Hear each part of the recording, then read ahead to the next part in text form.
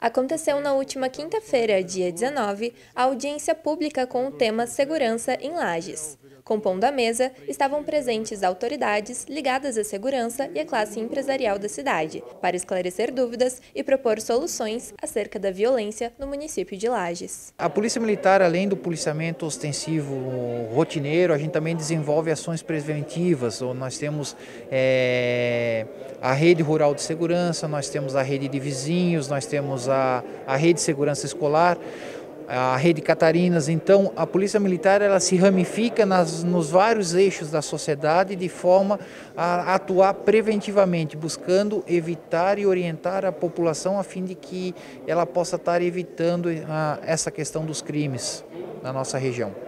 O proponente da reunião, o vereador Heron Anderson de Souza, trouxe questionamentos para os representantes das entidades presentes, com o propósito de entender suas necessidades e dificuldades, a fim de ter material para a criação de políticas públicas efetivas no âmbito da segurança municipal.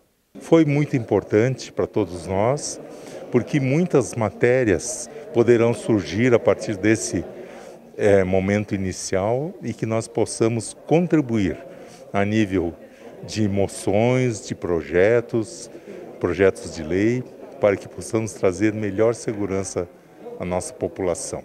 O delegado regional de polícia, Fabiano Henrique Schmidt, comenta sobre a importância de audiências públicas com a temática de segurança. O próprio artigo 144 da Constituição fala que segurança pública é um direito, né, um dever do Estado e um direito de todos, direito e dever de todos. Né? Então a sociedade tem que participar dessa, desse, desse assunto, né?